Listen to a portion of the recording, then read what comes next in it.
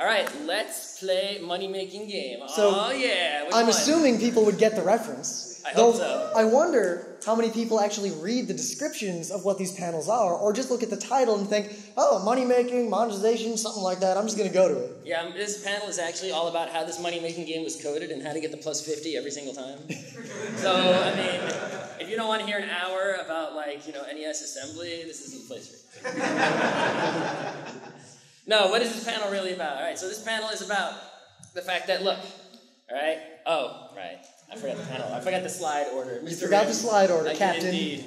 All right, so money making game. Every, you know, some people, most people, right, who play games or enjoy any sort of media, right, at some point you feel like you want to make that media. Few do, right, even if fewer succeed. But everyone has the idea, right? You have some vision of some game you've imagined. That's why that, like, pitch your game idea panel's so popular, even though those guys just sit up there and are like, okay, we're making these people happy, we're just going to sit here and smile for an hour. Yeah, right? But, you know, you have some vision of some game, you want to make it, right? But you also have to eat food, right? or you will die. And it won't be fun. And, you know, coming to the BCEC makes it really hard to eat food. Right? There's pretty much none around here. It's like, where is that dude selling that meat on a stick? I need to get past the grumble grumble guy. Uh, anyway, all right. You know, but you know, and people are always talking about all the time, especially recently. You know, how to make more money, right? What's the best way to make the most money? Which you know way should you do this? You know, should you do some microtransactions? Do Should I go free to play, the hat based economy that's very popular now? Right, and it's all about how to make more money, right? But we don't care about making money. We care about playing games because we don't make them. We just care about playing, right? And the fact is, is that depending on how you choose how you're going to make that money, the game gets affected. Sometimes ruined, sometimes not ruined, often ruined. Uh, and we want to talk about that, all right? So, but first, right, we have to talk about what is a game. So, you know, I bring this up in every lecture, every panel, but it is important because what is a game? I mean, Angry Birds is a game, so is Farmville, so is Patty Cake, so is Tic Tac Toe, so is a pheasant. So, we're not going to argue at all about what game is, what kind of game is better than some other kind of game. We're not going to really quibble over the definition of game because in this case, we're talking about what you want to do. Give me that clicker if you're not going to slide. I'm there sliding. We go. There we go. I'm, sliding now. All right. So you have to think about what is the game you're trying to make. Do you care if it's a fair competi- competitive test of one or more skills? One definition of a good game. Do you care if it's a series of interesting decisions? Maybe you're trying to make Patty Cake the game. That is what you want. But you have to think back to what type of game it is you're trying to make at all times. Because every monetization model is not just that it messes with your vision, but it'll mess with the fundamental core of what your game is. If you want a hardcore, competitive, we are fighting a fair test to see who is smarter or who is better, who a is competitive faster. game, a major league game, right? Hockey, that's- Counter-Strike. something that's going to have tournaments and winners and prizes, right? And you know, you can't, it won't be fair, right? It wouldn't be fair if you were playing Major League Baseball and one guy, you know, gets to use a metal bat because he spent a million dollars on it, right? That's BS. Now they can try to hack with the cork bat. I guess. So you have to make sure you don't compromise on that, or what's the point of even making your game if you compromise on your fundamental things? So think back to this slide. Think about those kinds of games. But first, we have to talk about revision because every lecture about money making games or games or money is the same, and people talk about how to make the most money, like Scott was alluding to. So you're probably wondering why, when we talk about a vision, there's a poison mushroom up there. Not a very nice vision. No, very bad vision. See, we used to play Mario Party hardcore in uh, college. We had a championship belt It that was was, the- official. So You would pass it to the current champions or contest for the belt. So we were in a, we were in a battle for the tag team championship, and one of our opponents had this vision, right? A row of nothing but poison mushrooms, all the way leading up to the beginning of the map, right? So anytime anyone got a poison mushroom, they would always put, and it was just this giant line, and he, you know, he, he said it, he believed it, he knew he could he could make it happen, and he did make it happen. Every turn, he's like, come on, guys, the vision. Right? And by concentrating on that vision, keeping it in mind, keeping it in focus, row of poison mushrooms, and there were like 20 poison mushrooms in a row. Like when you hit that spot, the game slowed down to a crawl. It was like one, one, two. Oh, it was the worst. Might and then have because so- you were going so slow, you got so many more turns. The odds of getting another poison mushroom to add by the to the end of the row was pretty good. But despite the vision being so painful, people wanted it. They fought for it, and he did not compromise. That's right. We lost big time. But you gotta eat food. So what if the vision is your game? You know, you want to make a game because you're passionate about gaming. You have this idea of I want to make a game that's like Dota, but it does all these things differently because I hate the way Dota is. I want to like I want to get rid of the channels. I want it to be like I don't know, like you're mining through and you're building structures. I want to make this like I have this specific game and I want to make it. My dream is just to make this game happen. But if you can't eat food while you're making that game, then the game's not going to happen. So this is the biggest thing, the core of this entire panel, that if you are designing a game because you have to eat, the design of the game is fundamentally linked to the monetization model you choose. You can't, you know, you can't pick like, you know, some game, you know, freely of the pick the monetization model later, right? Because if you do, I mean, you could theoretically pick any monetization model with any game. You could right? But a lot of the combinations, if you don't have the game and the monetization model paired up correctly, you're going to make zero dollars or negative a lot of dollars. Now, a lot of business people think you can do this. They think of it in terms of investment. I want to invest X dollars in this game company. I don't know what a game is, but they make them apparently. Oh, you're making a game? Well, I want it to be a subscription game. Yeah. They don't care what your game actually is. That's right. You know, and then when it actually comes, you know, you see a lot of times people change the monetization model of a game if it's not succeeding. No one's ever done that without also changing the game, right? You don't just leave the game alone and just be like, oh, okay, we're gonna, do, right? They always do something to the game because you can't just change the money part without changing the game part. So, this is the other thing that no one talks about. Everyone's focused on the after money, on I've made a game, how do I sell the most? But that is actually the least important part because you have a vision. You just want the game to happen. Your main goal, right, is to get that game out there. So you need to get the funding and everything to make that game and eat food at the same time before the game ever hits a press, ever goes gold. Yep, it's got before money and you got after money, right? The before money is the money you use to make the game, and the after money is the money you get after the game is made by selling it to people who want to play it, right?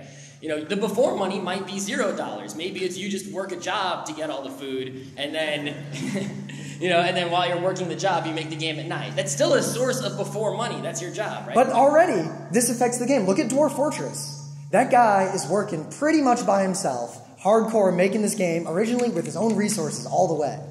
So the game is taking an infinite amount of time to finish. The game has progressed a great distance in the time he's made it, but think about how much farther it would have gotten if he'd had any amount of like real funding, or, or if help. he had a dev team, or if he or accepted he help. open source, if something had gone differently. So even if you say, "Oh, I'm not going to monetize my game. I'm going to work my day job and I'm going to make the game and I'm going to give it away for free." Well, your day job is still funding the game. You're tired after your day job. What if your day job is something that's similar, like you're looking at the screen all day, you go home, you look at the screen all night coding your game, you're going to burn out, the game might not finish, or you'll start to fall off from the vision. That's right. You know, even the, the seemingly non monetization models, right? Like freeware, open source game, right? Those are still monetization models of before or after money, right? They're just, you know, ones that tend to have very, very low numbers associated with them. But Now- they're still choices and they still affect your game. The most fun way to make a game is to already have the before money. Yeah. Either because you're Gabe Newell or because you're in a company, you might have a budget. Someone, some angel investor might have said, "Here's five million dollars. Make a game. I want to see it in a year." You know, whatever it is, they've given you money, but there's always strings attached to that money. Yeah, I don't know if you people know the basic story right behind Valve Software, right? They made Half Life 1, and it was in video game magazines for a long time, and it was incredibly delayed before it finally came out, and was awesome. Uh, but the way they were able to do that and take forever and not worry about meeting a deadline or compromising their vision was because the people who started Valve Software, right, like Gabe Newell, they were previous Microsoft employees who made mad money at Microsoft, right? And they just carried their monies over, and so they were able to just keep working and keep eating uh, all the live long day until the game was finished. And because the game succeeded, all that after money carried over, and now we have Portal 2. So Now, I know many of you are already thinking, but what if I'm independently wealthy? I just have, I'm a millionaire and I can just make my game. Well, Can you name a millionaire who is independently wealthy from like an inheritance or something like that who just decided to make games and the games were good? Or even just anyone who decided to spend their money on games and didn't care how well they did? is anyone here independently wealthy? You don't have to tell us. just meet me after. My point is, that doesn't happen. So you could say, yes, technically you could, and yes, technically you could, but really, no. So there is a new option. This is the new hotness. There's a Kickstarter room at this con because Kickstarter, gaming and Kickstarter are going hand in hand to a degree that is amazing. Look at how many games are being kickstarted. Kickstarter gives you the before money with very few strings attached. You pick what strings you want attached to your money before you ask for the money. How great is that? But there is a little bit of a catch, right? You think, oh, I'll just put my idea up there and it'll succeed or fail. But only certain kinds of ideas, uh, certain kinds of ideas will succeed on Kickstarter. Things that pander to a nostalgic intellectual property uh, license, right? Or a Well, thing that has a very flashy and catchy demo or idea. or really good video, or something that's made by a famous person who has a strong following. These kinds of things are much more likely to get lots of before money from Kickstarter, right? My crazy idea for a game that only I will like is not going to get a lot of before money from Kickstarter, right? It's going to get money from me, and that's it. It also necessitates that you have the ability to make rewards because no one's going to kickstart you if they you don't get any goodies. So even then, now you're considering, all right, get the game is probably one of the things in the Kickstarter. What are all the other things? Now you have to spend time on those too. Here's something people also don't think about, right? When you make a Kickstarter, one of those options is probably going to be, and often is, you get the game, right? You're basically pre ordering it, right?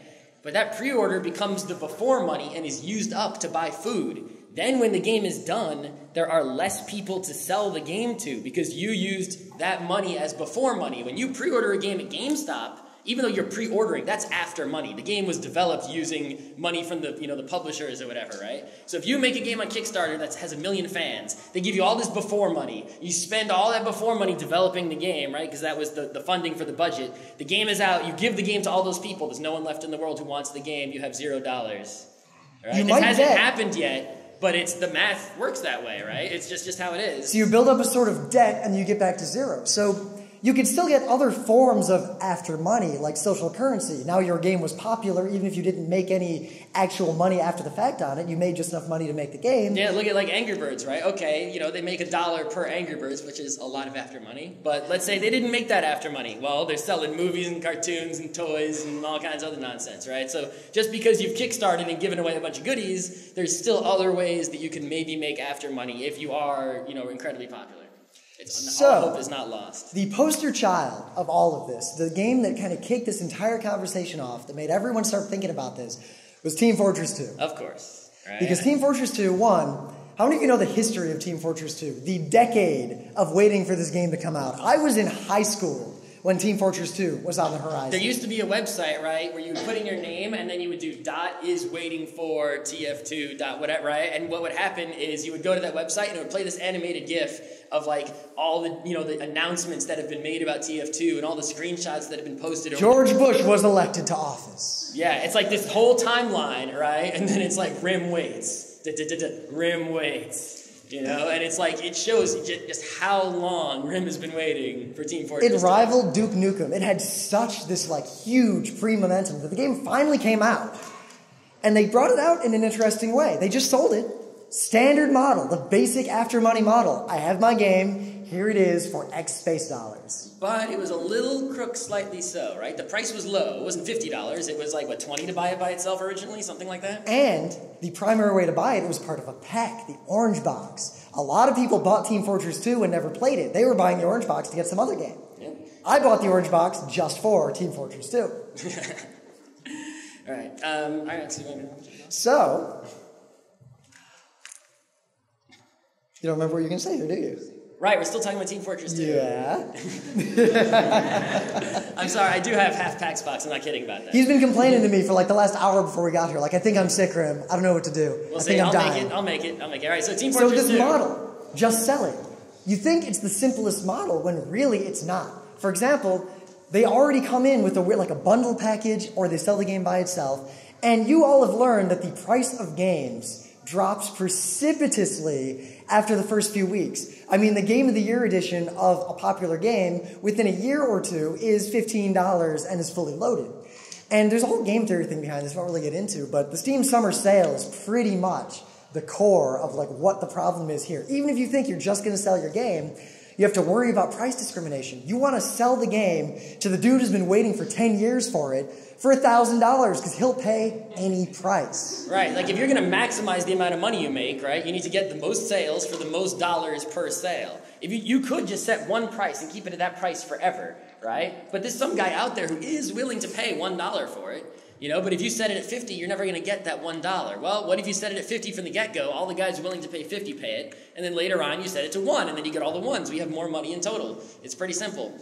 Uh, the problem is, right, is that, uh, you know, some games, you know, they're like single player games, people play them, and they're done with them, right? And that's cool right? You could just sell the game once and that's it. But other games, for example, Team Fortress 2, multiplayer games, I mean, Counter Strike is still played today by thousands and thousands of people. Go, go to Steam, right? Think about all the games that have come out Call of Duties, Skyrims, all these games that have come out, and since Counter Strike has come out, you go to Steam and you click on what's the most people playing right now. It's Counter Strike and Counter Strike right? So 1.6 and Source are up there. You know, when Skyrim comes out, it goes to number one temporarily, and then it goes down. And well, that was the case. There. They were number one and two until the free-to-play model came for Team Fortress 2. Until Team Fortress 2 said, we are going to move from a just sell it economy to a hat-based economy. That's right. I mean, they made something like 12 times the money they made in total sales in the whole time it was available in some number of months after they went free to play with this model. Like, right. it was ridiculous. Because think about it, the price was already so low, right? That anyone who wanted Team Fortress 2 and was willing to pay money to just play it had already paid that money. Yep, go back to price discrimination. If they had sold Team Fortress 2 for $5,000, 15 Ram scary dudes would have bought it. if they'd sold it for five dollars, I would have bought it. A ton of people would have bought it, but they might have made less money. So they put it at a price point to where they knew the hardcore people would pay any price. They tried to pick the point where they get the most money right away. It's almost like they planned this whole thing. We don't know if they planned this whole thing or the not. The other thing is that, you know, it's a game, it's a multiplayer game. They keep updating it all the time, right? It costs them money for this game to exist. But no new people were buying the game, right? It's just people who already owned it were playing it. And in fact, less and less people were, it was still fairly popular, but less and less people were playing it. They were going back to Counter Strike or going back to whatever other hobby they had, right? So they were spending all this money on Team Fortress 2. There was, it was still popular, people still played it, but they weren't getting any more revenues from it. It was just a money sinkhole. They had to find some other way to get money out of this game that you know was still existing and still carrying on. So they sold hats. And the thing is, they did it in a very elegant and interesting way. I mean, it's very easy to say, all right, I'll have a free to play game, but spend a dollar and get a better sword. Spend a dollar and get a better, you know, whatever. But if you do that, it's fundamentally changing the game. So let's talk a little bit about game theory. Rym's People who see our uh, lectures at other cons or at this con know that we like to bandy out scary game theory all the time. We're a game by itself, fine, we're going to play a game. Theory, we got like gravity, we got particle physics, that's fun. But you put them together, game theory is not fun and it's barely about games. But I'll try to skip the math. There are some Because intuitive things. Actually, I do know this one because it's fairly simple. so you think if you're going to introduce this meta mechanic of buying things in a game, this external structure, I can pay a dollar to get a thing. Uh, a League of Legends or a Dota esque game where I can buy unique heroes that not every player will have access to. The game will become unfair in one sense because not everyone has access to the same options. But there is a way to make those options be still effectively fair in one fundamental sense. The colloquial or simple way to explain this is that you gotta give something up to get something. Right, you know, pretty much every game you think about that has, you know, is a, is a um, an asymmetric game, right? A symmetric game is where everyone has the exact same stuff. Think combat for the Atari. My tank is the same as Rym's tank. An asymmetric game is where you have different stuff, right? StarCraft. Well, yours I'm isn't because I always give you're the the crappy controller. That's true. Or Street Fighter, right? I'm Guile, he's M. Bison. We have different stuff going on. That's an asymmetric game. How do you make an asymmetric game fair? It's pretty simple. Everyone knows, right? One guy is the fast guy who does a little bit of damage, and one guy's the slow, strong guy, right? And it balances out. You know, the different characteristics and stats. You know, okay, the wizard can deal a lot of damage to an area from far away, but he's mad weak. The warrior can get up close, and right, but then he takes a lot of damage, but he has a lot of hit points. And everyone is sort of equally effective in a different way. So you know this famous example. Uh, I remember as a kid, I saw a friend of mine. I was I was uh, I don't know eight, seven. I was a little kid, and I'm hanging out with my friend Joe Ogilvy. Maybe he'll see this and he'll be like, "Oh my God, Rym!" And he gave up the heart container, and I slapped him.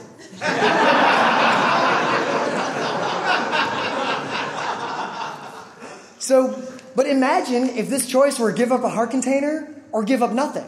Well, duh, you're going to give up nothing.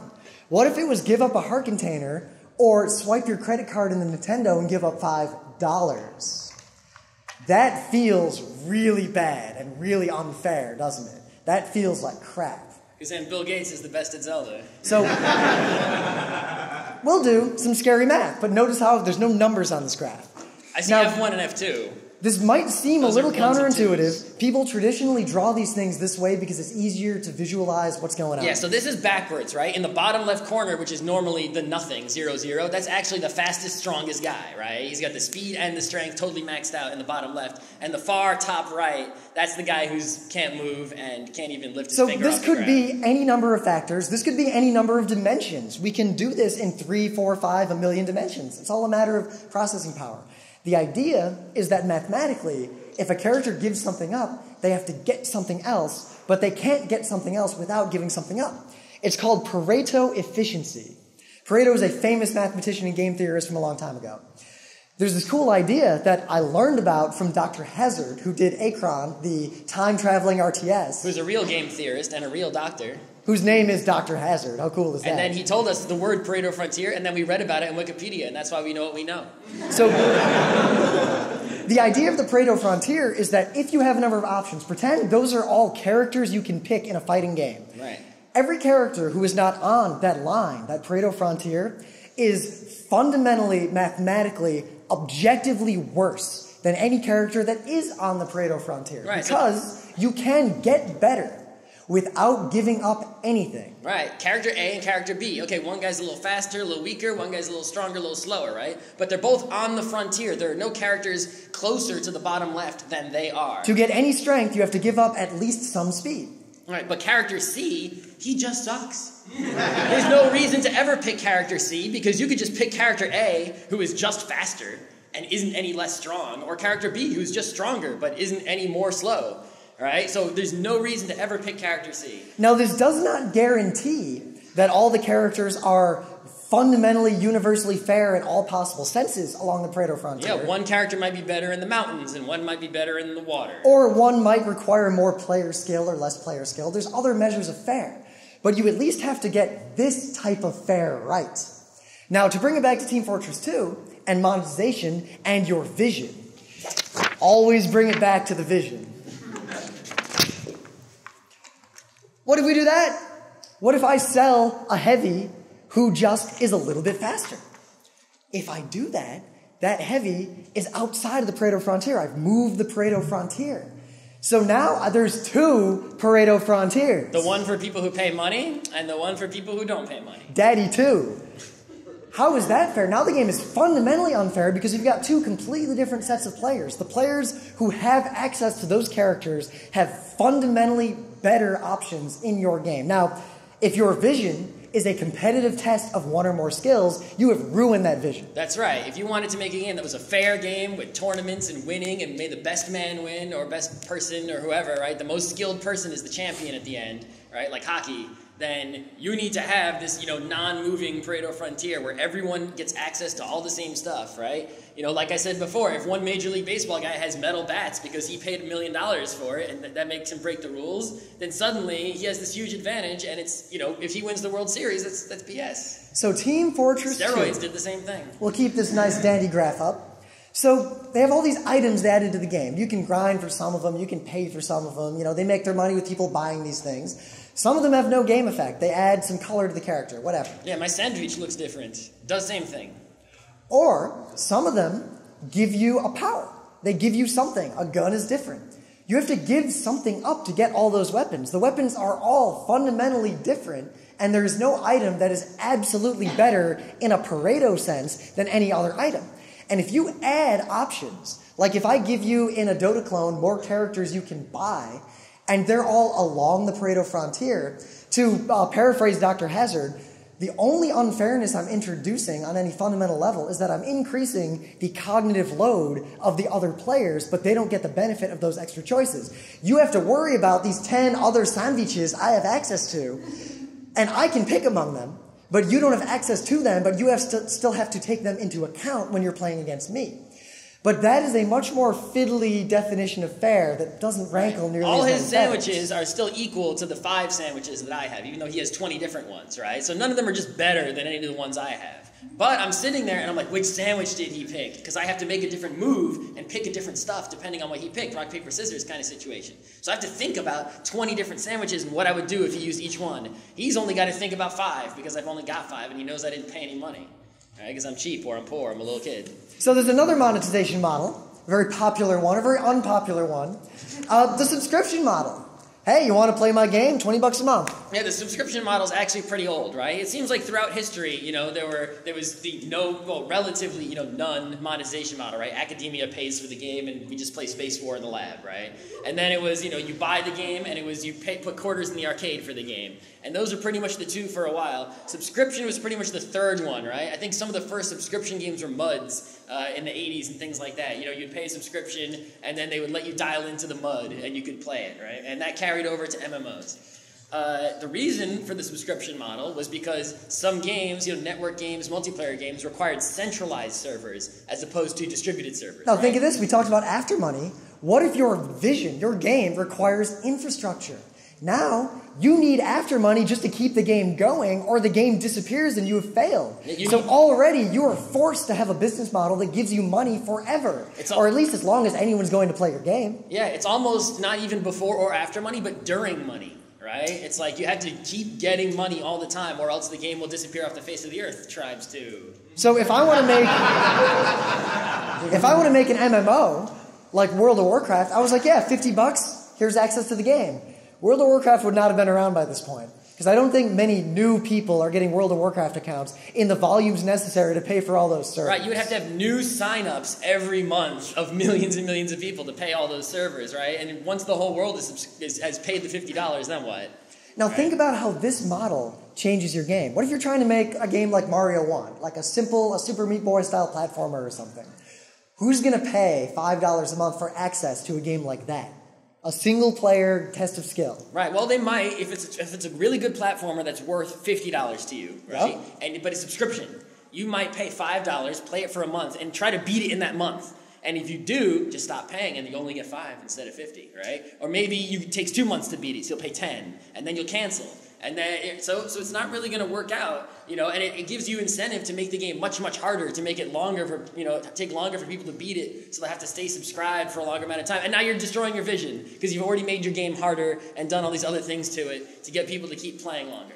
So, how many of you have played World of Warcraft or a game like it, and you didn't really want to? You felt obligated to. Or you played it, but you weren't necessarily enjoying it, but there was perhaps external social pressure. You are. I need you you, to go on this pushed. raid, yo. If you're making a game It's not, we're not gonna make it without you. with a subscription model, We have no friends. You're the only healer we know. you are pressured into making your game have these elements, into having a game that will trick you into forcing your friends to keep paying for your game by making them feel bad if they quit. Or the sunk cost. You want it to be stateful, maybe. You have a character. You wouldn't want your character to die. What if Nintendogs was a dollar a month? Yeah. So you Would know, you stop paying? Ever? Or would that dog be in your will and your grandpa, your Tamagotchi grandkids are like, what is this? should have done So already your vision, there's all this pressure on your vision. But one specific one, this is where ethics and gaming get in. Not to get into all the details of this graph, but there's the idea of reinforcement.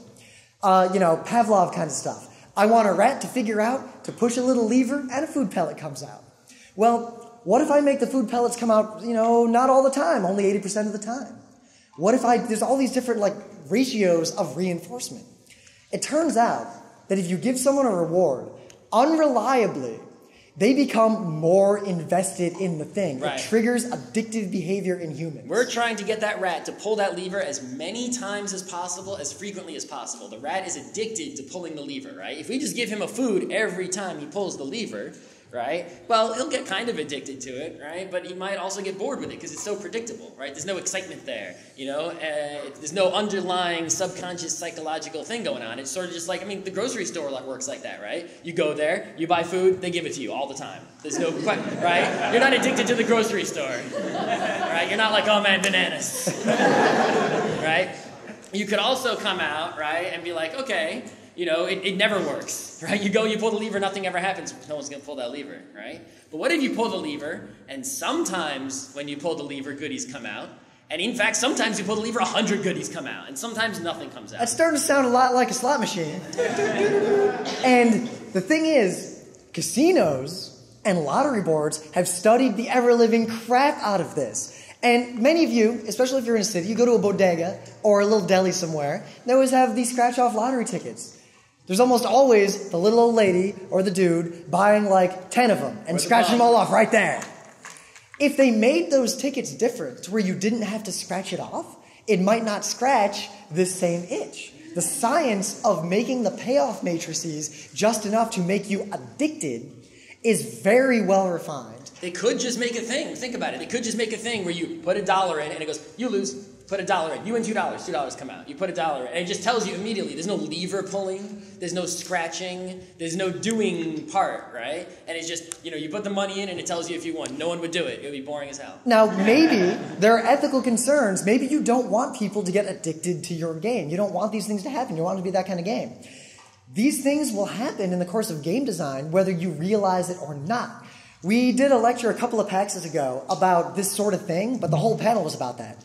And afterward, a couple of Blizzard employees came up. They're like, yeah, that was awesome. But we didn't do any of that analysis when we made World of Warcraft. It was mostly trial and error. Right. Now, here's the thing, right? You could come up with this, and casinos come up with this, right, by doing math beforehand. They say, how can we get the most people to sit at that slot machine for the longest? And they figure out scientifically, you know, they do math in the lab, and they do tests and all these experiments, and they figure it out beforehand, right? Video game companies, very few of them, with exceptions like Dr. Hazard, right? And Zynga. Right. Even Zynga doesn't do it. Uh, they don't have this sort of, you know, game theory knowledge, scientific knowledge, experimental resources, right? But they still succeed because what they do is trial and error, right? They use statistics right? They'll look, you know, in the olden days with arcades, they would look at how many quarters were in the thing, and that's how they knew which, you know, and they'd be like, okay, we made the guy shoot more bullets faster, and there were more quarters in this week. So right? imagine, you know, World of Warcraft, nobody making that game in the early days when that was the secret project was thinking, let's try to get everyone addicted to the game, dangerously addicted to where they will hate playing our game but keep paying us anyway. What they did is they looked at that subscription number chart that was up on the wall and came in their email every week of how many new subscribers there were, and they looked at what they had changed in that time period, right, since the last report, and they were able to figure out over a very long period of time with a very large set of data and a very large number of players which thing, you know, oh, that guy played the longest and he really liked doing the PvP. So I guess whatever we changed in the PvP, you know, really made him like it more. So those are good changes. Let's try to make changes like that in the other parts and see if those work. That it's could all happen trial even- and error, and you get it the same answer either way. That'll happen even when you're just developing a game on your own. You're doing something that, oh, people are more interested in the game. I'm making the game more fun. You are, but you're also going in that in that direction of the slot machine. And you have to think about whether or not that's what you want your game to be. If your game is a subscription model game, you are really pushed in that direction, or you're not going to make enough money, possibly. So, let's talk about some more examples here of games that have done this. Because Deus Ex Human Revolution, I paid, I think, $12 for it. I paid zero because I didn't pay it play. When will you buy it? When it's like a dollar. So, you know, we talked a little bit about Steam and the summer sales, but Steam and these sorts of summer sale things are starting to cause a problem for the game industry because people know they have trained us. I bought Fallout 3 for like $60. Me too.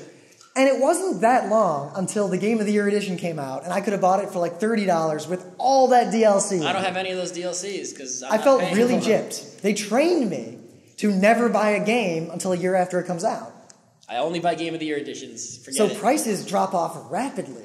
So we're really at this point to where if you're going to just sell your game, you're almost forced to consider doing DLC, consider doing expansions, consider other means of monetization that aren't actually just selling the game.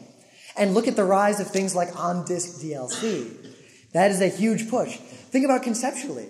There's stuff in this game where the developers might have been thinking, for example, they had this thing, you could throw it at a lock from a distance. and it would auto hack the lock. That's pretty cool, right? You only got that if you pre ordered at particular stores. They turned that item into monetization. Now, it's a single player game. I'm never going to argue that a single player game has to be fair because the computer doesn't have to have fun. but the developer might have been thinking, you know, the guy, you know, whoever's working on it said, hey, that's a cool idea. And then someone thinks, wait a minute, that would be really good for the DLC. And they don't put it in the original game. Even if no one has any ill intent, they're just trying to make the best game they can, you might be influenced in your decisions in game making if you know that DLC is part of your model down the road. And there are studies with doctors. Doctors think that they are not influenced by drug companies giving them gifts. Yeah, they I think, mean- oh, Pfizer gave me a million dollars. I'm not going to subscribe, you know, Pfizer drugs more often than anything else. I have medical ethics. Right, it's, it's this whole thing where you're corrupt and you don't know it. You wonder, like, how can people be so evil? This doctor took money from that pharmaceutical company and then he sold all, he gave all his patients prescriptions for the company's drugs, even if they didn't need them, right? The doctor doesn't know he's doing it. And there's actually scientific evidence, right, and a lot of experiments to prove this. Right? They go to the doctors and they see who gave them money, right? And they over a course of many years, they, they count how many drugs the doctors prescribe per company of different things. And it turns out you go to interview the doctor and they say, Hey, doctor, do you favor company X when you're prescribing drugs? And they say, No, I give the patients exactly what they need. But then they look at his better." prescription records. And Ah. he is, they showed it. I You saw a gave video. prescriptions for company X drugs 50% more than the average doctor. They showed these results to doctors, and the doctors were flabbergasted.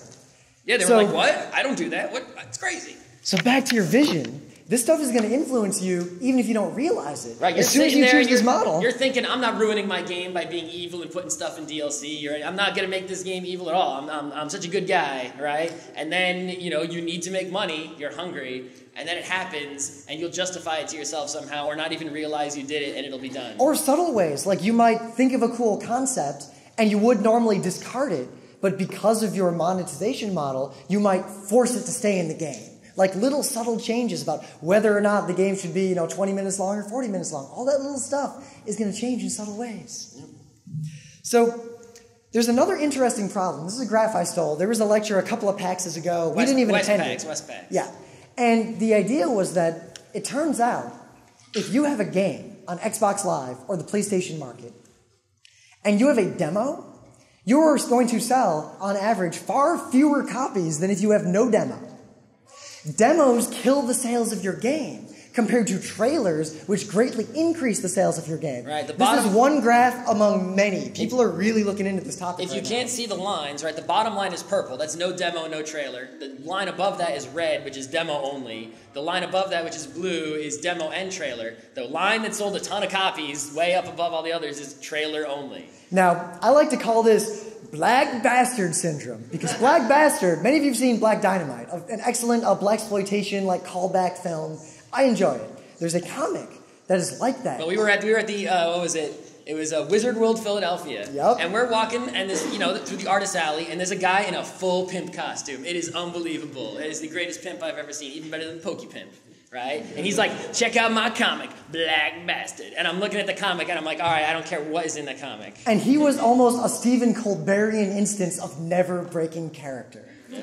Now, the idea is very strong, and you look like, wow, that's awesome, I gotta read that. You flip through the first few pages, and you pretty much get the deal.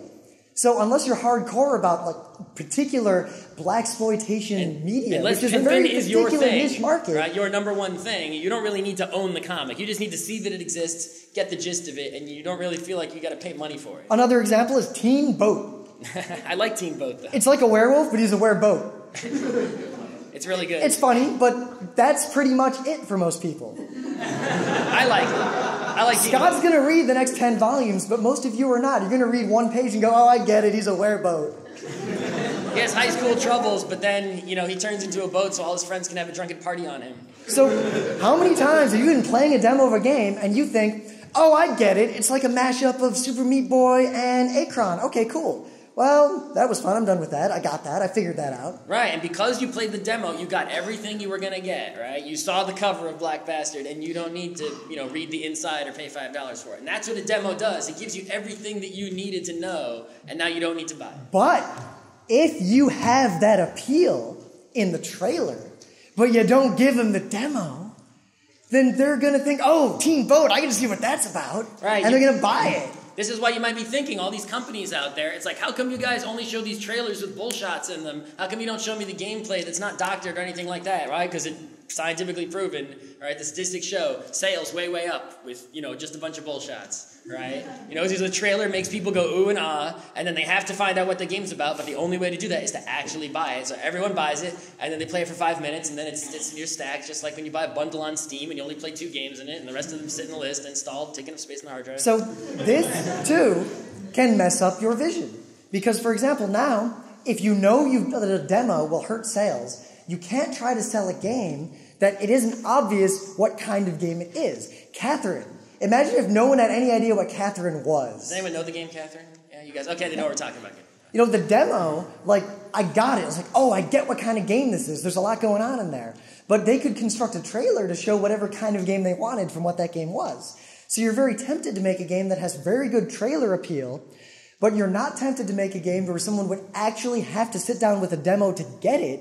Because if it's one of those really unique concepts that needs a demo, the demo alone is going to tank your sales in many instances. Mm-hmm. We got like 17 minutes. So, one option with Just Sell It is the UGC, the user generated content. Now, if that's already not a part of your vision, obviously you've compromised on your vision if you start adding UDL, if you're adding this, you're letting your users add content to the game. Yeah, it's uh, you know it's obvious. You know, Minecraft is obviously number one example, but other things like uh, Little Big Planet, right? Games Yep. that allow you, you know, they're tools that allow you to make something, right? And if people can make something with your game, Mario Paint, perfect. You know, maybe the first, I don't know. Uh, then they can spread it around on the internet, and then that, that you know people will want to make things like that thing that, that they, someone else made in that game, so they'll buy the game instead, right? So having a game with any sort of UGC or user creativity, ways for you know the players to express themselves and share those expressions on the internet, right, is going to get big sales. So there's a huge incentive for anyone just selling a game these days to do those things simply because the internet exists. But as soon as you want to do that, like imagine if like a like a MMO, like a World of Warcraft, if they wanted to let you just straight up import your own character model, like you can model whatever you want. like Second Life. Can you imagine how much work it would be for them? So already they need more money for it. So if you, but if you're just making your vision, you're going to have to change how you get your money, maybe increase your budget if you want to add user generated content. But if you're just selling your game, you have an incentive to have a user generated content structure because otherwise you might not be able to monetize too well. Oh, Angry Birds. Could just sell it for a dollar. Yeah, you know, and it's like you think of just sell it as like, you know, the most basic way, you know, to, to get your after money, right? You pay money, you get the game, end of story, right? But it's sort of different when the price is so ludicrously low, you know, that it enters this different territory, right? I think about, buy- I bought Angry Birds Space, you know why? Because it costs less than a bagel. You know? it's like I buy a bagel for $1.25 and that's a street cart bagel, right? Angry Birds is going to help me out, you know, giving me something to do when I'm on the crapper for like at least a couple weeks. You know, that's well, it's worth more than the 30 seconds of pleasure I'm going to get from that bagel. So I can pay the dollar for it, right? But what kind of, you know, influence does that have on the game of Angry Birds, right? It, you know, it has to be, you know, they have to do something to that game to make you want to pay that dollar, right? And they also, right? Well, you know, it's, it's not just make you want to pay the dollar, it's make as many people as possible pay the dollar, right? If you have a game with a high price, it's okay if you only sell it to a few people. You can have like a niche game just for the hardcore people and sell it for 100 bucks and, you know, Steel Battalion kind of situation, big joysticks. You don't need to sell that many and you're going to be good. With Angry Birds, at a dollar, you need to sell a bajillion because you're only getting a dollar. But now the game has to be small. It has to work on a phone because that's the only place you're going to sell games for a dollar in any volume. And as soon as you have to be on a phone, you're constrained in these technical ways now. You have to worry about what platforms you're going to support, what platform you're going to use to develop it, all- you know, all that other stuff. Yeah, the monies isn't the only thing that affects your game design, right? It's also, you know, the platform, the technology, and they're all tied together, right? But the effects the money has are probably the least explored. It's always the reverse that people inspect. You know, it, what effect does the game have on the money, not what effect the money has on the game. Uh, One of the oldest models in the book, put in a quarter, play for 10 seconds because the game is balls hard. yeah. you know, you play Ninja Turtles, right? It's, you can't beat it. it's yeah, not that, possible. that Dungeons and Dragons game, that red dragon kills you, guaranteed, at least once. There's no, has anyone played that one? Oh, you've never played D and D arcade game? Oh my god. I feel really old now. Yeah, I would always be the cleric because Wait a minute, wait a minute. turn undead infinity times. So anytime skeletons showed up, I just be like, oh. Which is like oh. twice in the whole game. They show up a lot. It depends. Not You have to take the north road through the caves. No, you don't north... go through the north. Screw that. Here, I'll make us feel old. How many of you have been to an arcade that wasn't at a convention?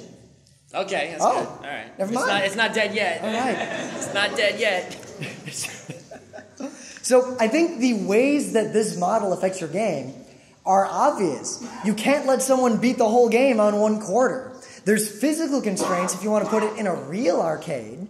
Uh, the game has to be such that that tiny speck of play you get for the first payment is enough to challenge you and yet make you want to play more, but yet not be so easy that you're not going to have to pay again, and not be so hard that you put in one more quarter and then quit. You've also got to make the ca- the cabinet of the game really attractive, so that people walking by will go, "Ooh, what is this thing?" and they'll just want to sort of investigate it, even if they don't like it and it turns out to be a crappy game. They still put in one quarter, and like you know, like one of those submarine games. A lot of those are pretty crummy. There's only a couple good ones, right? But it's like, what's in there? Right? So everyone who walks by puts in one quarter, plays it, and goes, "Ah." but it still gets a lot of quarters if a lot of people come in the arcade. You know, so it, you know. Now, this is a model that I think hasn't been explored recently. People have not really tried to do the arcade model of pay as you go like this. Well, they do it with crane games. They crane do. games are real big these days. in arcades. Yeah, Where's the pay as you go MMO that isn't actually a free to play game? You know, I think the Xbox. I don't know if they still have it, but for a while they had a thing where you could go in and like pay like a quarter, to, and they had a MAME emulator. You could so you could play an arcade game on your Xbox once, as if you had put in a real quarter. And I don't think anyone. There's not a lot of that. appeal in that. No, not really. So, we're going to share one of our visions with you. Because we have a vision. vision. We And do. We have a lot of visions. We share this vision. We're never gonna make this. It's just an idea. I Well, love. one, Neil Gaiman said this to paraphrase ideas aren't worth anything on their own. So, anyone who thinks you have a great game idea, if you haven't made it, that idea is worth nothing. Yeah, any idea for anything that you have. A lot of people keep their ideas secret. Like, I don't want to tell you my idea because you might steal it. No, your idea is worthless. All right? If you have an idea, you should tell it to as many people as possible so that they can help you refine it and bounce things off you. They're not going to make your idea. It's your idea, which is why you care about it. Rym doesn't care about my idea. All right? And if he does, team up. Now, right? if and any of you, something done. if any of you make our vision, go for it. I think there's money there. So, You I have want all my babies, all Now, zero of them. This is a great example of how the monetization model has to be tied at the beginning during the conceptual process to the game itself, or else it wouldn't work. This is a game that cannot be monetized in any normal, expected, reasonable, like currently used way. All right, so I'm going to tell you my pure vision, right? We're not worrying about any money. So imagine this game. Close your eyes, right? It's an MMO, right? It's actually an MMO, as in there is one world and everyone is on it. There's no instances, there's no nothing. Fully stateful, Right. 24 7. Every person is on the same server, on the same thing, in the same place, right? When something changes, it changes permanently. Someone blows up the house, it's gone, right? Someone digs a hole, it's a hole. Someone fills in the hole, it's filled in. Get your dirt out of Boss Keen's ditch. All right. Uh, in addition, the world is wicked dangerous, right? Crazy dangerous because it's the Terminator world. There's or, hundred killers everywhere. or a legally, right, similarly unlicensed equivalent, right?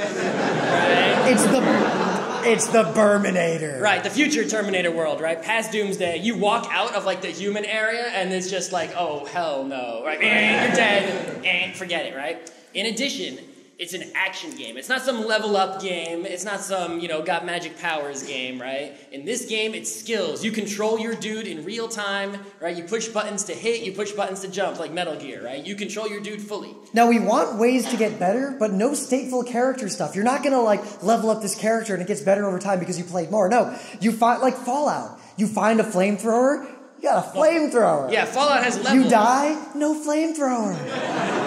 right? There won't be levels, but there will be equipment, right? You find some body armor somewhere out there, or maybe you destroy a robot, right? He's holding a big minigun there. If someone manages to take him out, good luck. You can take that minigun maybe if you can pick it up.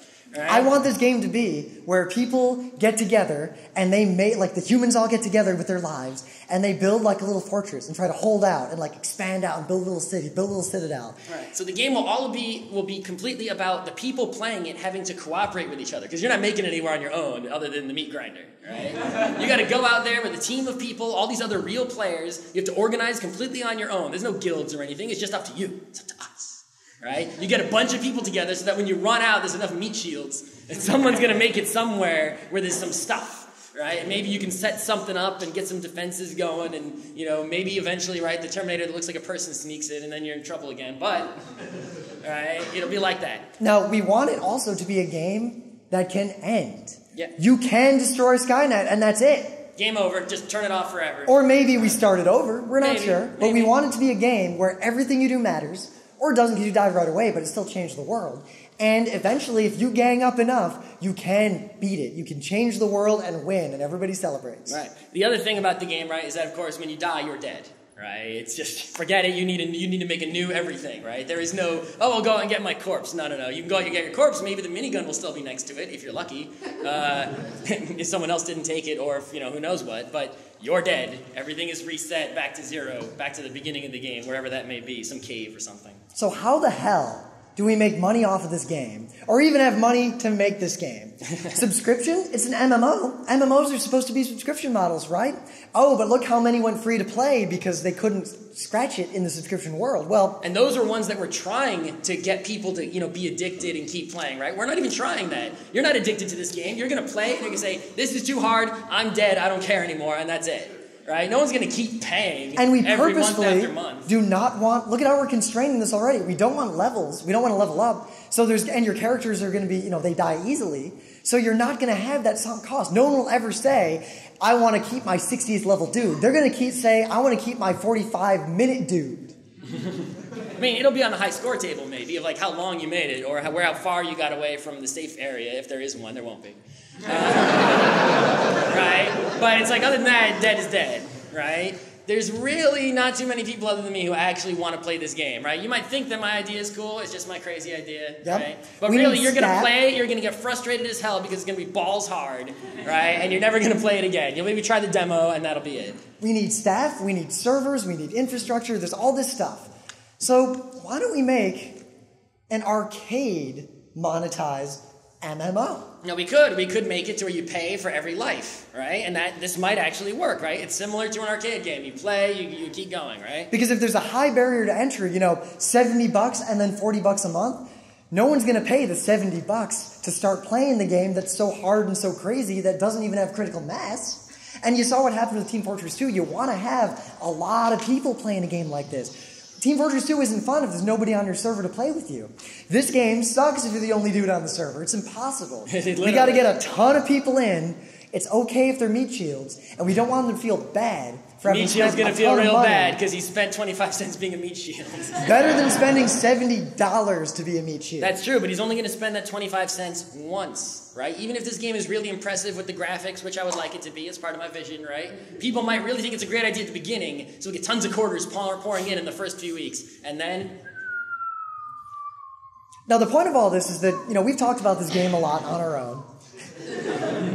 As we designed this, you can see how we found a model that fit our vision, and the two are affecting each other. Our vision's already being affected by the model. But we've chosen a model that meshes with the vision. It's almost mechanism design, which is the idea that the designer of a game is interested in how the players play the game. It's used in like regulation in the stock market. It's used in some games you play. You know, the game affects the players and you want to control that. Now we're picking monetization models that while they change our game, they push it in the direction we're going anyway. Yeah, but you know, you see that no matter what mon- if we pick any of the before or after monies, right? No matter which ones currently exist and are really popular and successful, right? I've come up with this vision, and really, this is my legitimate vision. I didn't just come up with it as an example for this panel, right? I've thought about this for a while. Uh, none of the existing monetization models will work and make any money with this game, even if the game is really cool.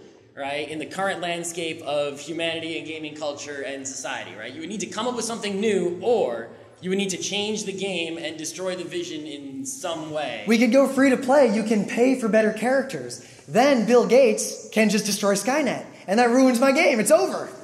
I mean, I can't even come up with one, right? If we if we kickstart, we got to spend all our time making rewards. Well, who wants a reward that doesn't do anything? Like, hey, your guy's pink, great, he stands out, and then he's, you know, we can't give a guy a better sandwich to start with. That's not fair, right? I want this to be a fair and skill-based game, and most people don't like skill-based games. So let's, in the remaining five minutes we've got, let's try to monetize a vision that is so ridiculous that the constraints will prevent you from making anything even close to a realistic modern game. PAX Enforcer, the game. It's real time. It takes three days to play this game. Oh Yeah. no, wait. Actually, it takes like a week and four days because you got to start at the bag stuffing. I want game. this to be a top down, like Sims kind of game where you're controlling all these enforcers and you have to manage PAX. But it's real time. And there's some games that did real time. There's a game called, I think, D. Are you ready for the game ago. that takes 90, you know, a whole hour and all you do is sit behind a booth and watch two morons, right? Talk until they fill that, right? You wanna play That this is game? really boring. Sit, me and Scott sit down to play this game on Friday, no, Thursday night, and we play nonstop. We sleep in shifts. It's So- like, do you want to play, you know, the Expo Hall game where you sit there and it's you just look and if anyone's doing anything bad, you go, hey, Now we haven't decided how to monetize this. is that so, badge real? Okay. so how do we monetize a game like this? Well, all right, we can't really sell that because who's gonna play that more than once, if ever? And even then, all If use it for enforcer training, PAX will buy it and that will be it. So It'll be Enforcer Simulator? Right, right, so the way to use it, right, to train new enforcers, we can sell it the way they sell like air, airline simulators, right? Only one customer, they pay a zillion dollars for it because it's so good and that's it. It's not a bad model, but Not it's also bad- kind of risky. It is, because And- Penny Arcade's probably like, we don't need this, this is stupid. And they're gonna, we can train an enforcer for like And five also, dollars. if we made it that way, they're going to want to add all the secret stuff, like all the money stuff and all, the, you know, to make it a real simulation. Now we can't sell it to the public anymore, and that ruins my vision. I can't play it unless I take up the black. Maybe they use it as a recruitment model. You want to play this game? That's gonna make everybody not sign up. It kind of turns into Ender's Game. What if that was controlling the enforcers? We don't have the technology for that yet, but we will. All right. So maybe, okay, so maybe we try to sell it. How about we could do something like, you know, what if we made it coincide with PAX for the people who can't go to PAX? So we get a feed from PAX of, you know, crises, or maybe it's a super random set of crises. Panelists didn't show up. A projector caught on fire. Naked guy. and you're playing, you know, the head of PAX, and you're, or Robert Khoo, whatever, and you're like, Enforcer, fix that, da, da, da. You've got like this live streaming PAX that you're running. You can walk into a panel room and watch one of the panels or something. Well, that is even crazier to monetize. So maybe we meet somewhere in the middle. There's the EA model of, you know, I've got a sports game and they make a new roster every year. So maybe you buy a subscription and every year you get the updates from the previous PAX and you can Oh man, and then everyone will know that he quit enforcing that jerk. right? He was the best guy last year. He had all these high stats. Ah, now I've got to use this noob who's never enforced before, just trying to get a free badge. Ah.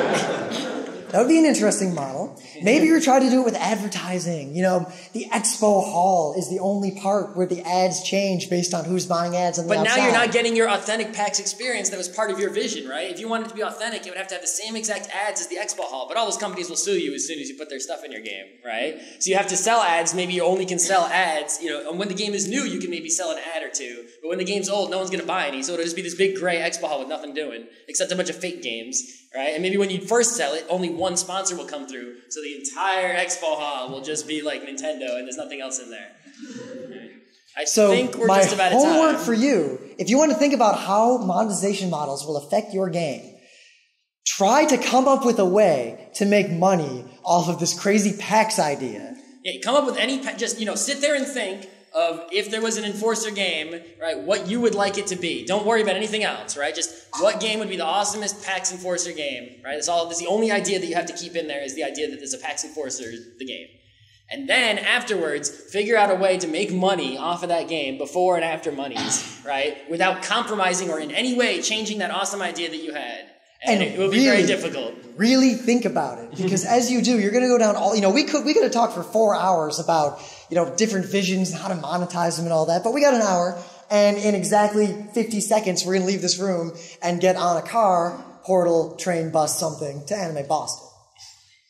Uh, are we done? So we've got flyers here. We cannot take questions, as we said, but we've got flyers here you can take that will link to probably the video of this panel and the video of many other panels we've done at previous PAXs. And if you email us, we Oh, will probably anymore. Damn it. respond. One too many times. We also have QR codes. If you don't want to take a flyer, you can just take a picture of one of these with your phone. It's an experiment. Yeah, the vision.